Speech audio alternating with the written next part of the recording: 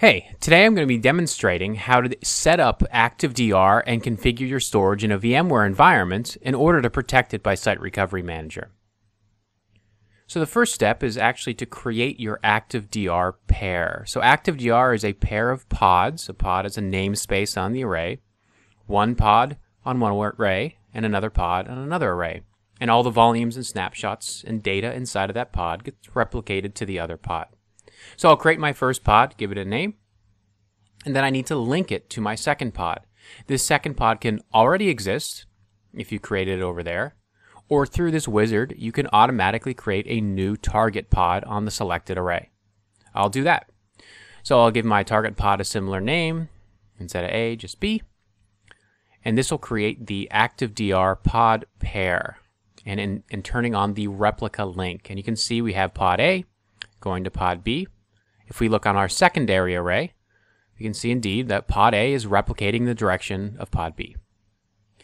So the next step is to discover that pod pair in Site Recovery Manager. Pod pairs are discovered as arrays in the Array Manager. In the previous video, we set up the Array Manager. So this discovery will see this new pod pair, and you can enable that array pair and this will allow you to discover, or rather SRM, to discover devices inside of that pod pair. There are none now, so let's create some. ActiveDR with Site Recovery Manager allows you to create and manage and protect VMFS data stores and RDMs. So the first step, though, is we need to create connectivity between my cluster to the array. If you've already done this, you can certainly skip this step. You can choose Fiber Channel or iSCSI, and this will create the cluster objects on the array to enable connectivity and the connections of new storage to these particular clusters. I'll do this on my source site and my recovery site. Once these host groups are created, we can now provision storage. In the vSphere plugin versions 4.40 and later, we support provisioning into ActiveDR pods. So I'll give my new data store a name and a size choose where I want to provision it to, what cluster, and then I'll choose under the continuous tab my active DR pod pair with some more information around that particular pod pair to give you some context. Snapshot policy if one exists. I can also choose QoS information if I prefer. And then we'll create the data store. This will create the volume in that pod, in the source pod, present it to this cluster, rescan, and format with VMFS. We can see this VMFS data store has been provisioned and we can see the underlying details under the Summary tab using the vSphere plugin.